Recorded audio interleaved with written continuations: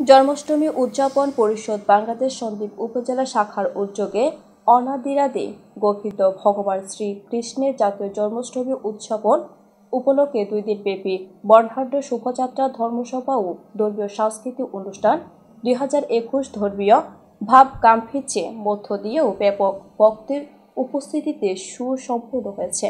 সন্দ্বীপ পৌরসভার তিন নং ওয়ার্ড স্তর সন্দ্বীপ টাউন জগন্নাথ দেবালয় সংসদে আয়োজিত অনুষ্ঠানে প্রধান অতিথি ছিলেন সন্দ্বীপ পৌরসভার মেয়র মুক্তাদের মাওলা সেলিম। অনুষ্ঠানে সভাপতিত্ব করেন জন্মাষ্টমী উদযাপন পরিষদ সন্দ্বীপ উপজেলা শাখার সুযোগ্য সভাপতি দুলাল চন্দ্র বণিক। টেলিকনফারেন্সে বক্তব্য রাখেন জনপ্রশাসন মন্ত্রণালয়ের সাবেক সচিব তপচন্দ্র বণিক। বিশেষ অতিথি হিসাবে উপস্থিত ছিলেন হিন্দু বৌদ্ধ খ্রিস্টান ঐক্য পরিষদের সভাপতি মাস্টাররত মিত্র।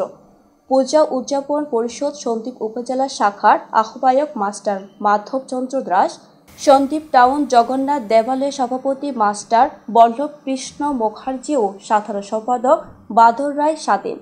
অনুষ্ঠানে শুভেচ্ছা বক্তব্য রাখেন সংগঠনের সাধারণ সম্পাদক মাস্টার বিধান চন্দ্র দাস ও জগন্নাথ দেবালয়ের সহসভাপতি কার্তিন চক্রবর্তী। অনুষ্ঠান সঞ্চালনায় ছিলেন শ্রী সঞ্চয় কুমার দাস। ভাগবতী বক্ত হিসেবে উপস্থিত ছিলেন মাস্টার বিশ্বপদ রায় ও সংগঠনের সহসভাপতি নরোত্তম গোস্বামী। অন্যান্যদের মধ্যে মাস্টার প্রভাকর চক্রবর্তী ও কমল দাস বক্তব্য রাখেন। সভায় বক্তারা বলেন দুষ্টের দমন ও শিষ্টের পালনের জন্য ভগবান শ্রীকৃষ্ণের আবির্ভাব হয়েছে। তাই এদিনে প্রথমে নিজের মনের পশুত্ব ও কুটিলতাকে দূর করে বিশ্ব শান্তির জন্য সকলে কাজ করতে হবে। তার জন্য ঐক্য বিকল্প নেই।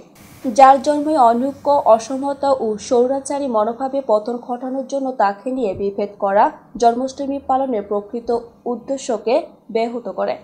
তাই আসুন সকলে মিলে অশুভ শক্তির বিরুদ্ধে সোচ্চাই হয়ে নিজের পরিবার, সমাজ তথা দেশের সীমানা ছাড়িয়ে মন্ত্রের সকল জায়গায়।